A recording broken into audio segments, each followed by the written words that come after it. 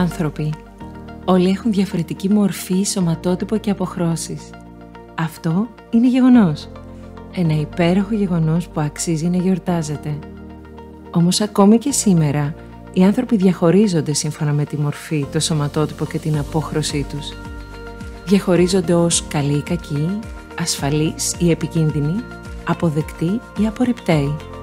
Διαχωρίζονται και από το χρώμα του δέρματός τους.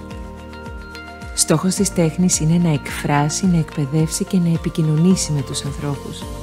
Σε αυτό το καλλιτεχνικό πρόγραμμα για τις αποχρώσεις του δέρματος, η τέχνη εστιάζει σε αυτά που ενώνουν τους ανθρώπους και όχι σε αυτά που τους χωρίζουν. Στο Pinewood, σε συνεργασία με την εταιρεία Φύλλα Ελλάς, δημιουργήσαμε ένα καλλιτεχνικό πρόγραμμα για να μιλήσουμε για όλα όσα μας ενώνουν. Χτίσαμε ένα πρόγραμμα ζωγραφικής, στο οποίο οι μαθητές χρησιμοποιούν ακριβώς τα ίδια χρώματα και δημιουργούν μια ευρία γκάμα αποχρώσεων του δέρματος. Αναμειγνύοντας τα τρία βασικά χρώματα κόκκινο, κίτρινο, μπλε, μαζί με λίγο άσπρο και μαύρο, οι μαθητές συνθέτουν όλες τις αποχρώσεις του δέρματος. Από το βαθύ καφέ της σοκολάτας, στο ροζ της καραμέλας, από την ανοιχτή μόκα μέχρι το γλυκό πορτοκαλί μιας φακίδας.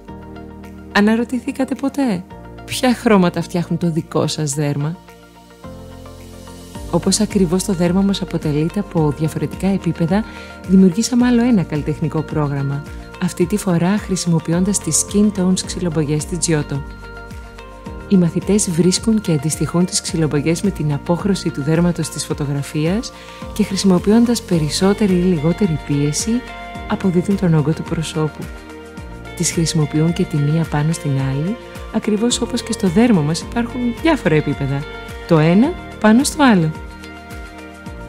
Θέλουμε τα νέα παιδιά, αυτά που θα διαμορφώσουν τον κόσμο μας σύντομα, να χτίσουν γέφυρες εκεί που υπάρχουν εμπόδια, να βλέπουν τα κοινά αντί για τη διαφορετικότητα και να προωθούν την κοινή λογική.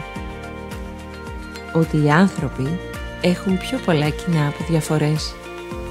Οι άνθρωποι μπορεί να μοιάζουν διαφορετικοί, αλλά ότι όλοι οι άνθρωποι είναι ίση.